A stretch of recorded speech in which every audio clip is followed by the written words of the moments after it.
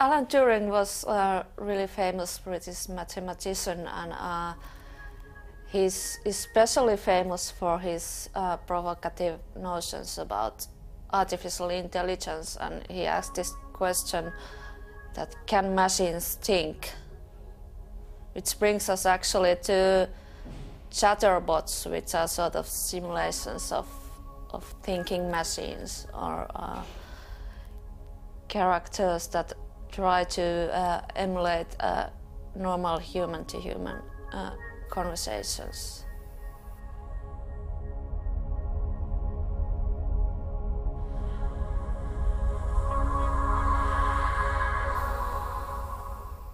The Turing Machine Opera and the Turing Enigma Bot were the two second experimental projects of TAIK University for Art and Design Helsinki within the Salero project.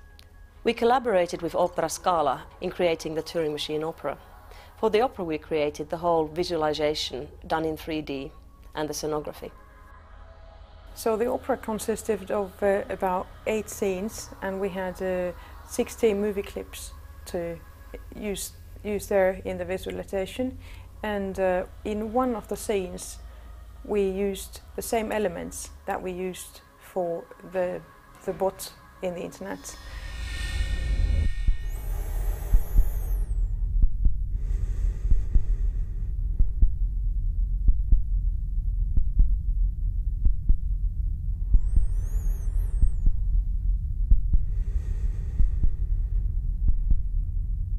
In the Turing Enigma bot, Alan Turing's soul has entered the Enigma machine. And you can ask Alan Turing questions, you can talk to him, and he will respond in different kinds of answers, sentences, which reflect the values and the life of Alan Turing himself. We actually took an existing open source chatterbot Alice from the internet, and uh, I just started to, on top of Alice's uh, dialogue, I started to edit whatever things Alan would say instead of Alice. Which was fun because a fun and painful process as well because there's uh, something like I, I don't know 50,000 lines of dialogue so I had to change everything.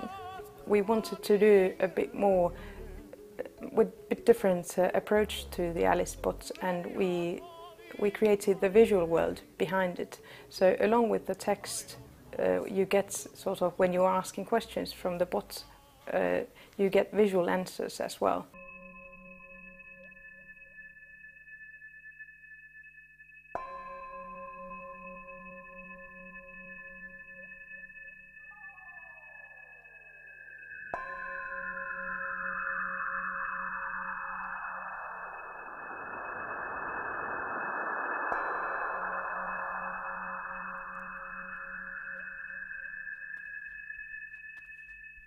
We had created two different uh, masks that represented, one represented more uh, death and feminine side and one represented more the masculine side and maybe more sort of real world. And uh, we, with Salero tools, we, we created different uh, states, emotional states, and we exported those uh, states that we used in, in the Maskell tool. That was the UPF tool for creating uh, different faces. We exported those faces out from that tool and imported those with the very friendly help from Alan Evans from UPF uh, into 3D Max, which was the program that we used for 3D in the project and the bot continues to be online and we continue to develop it also alongside with the developing new tools that are available to us through the Salero project. Today uh, film industry is looking for kind of added value services that you can put on the top of the film or top of the drama. It seems that this idea of an artificial character that you attached to a ready-made plot is rather working. People enjoy building that relationship to their favorite character.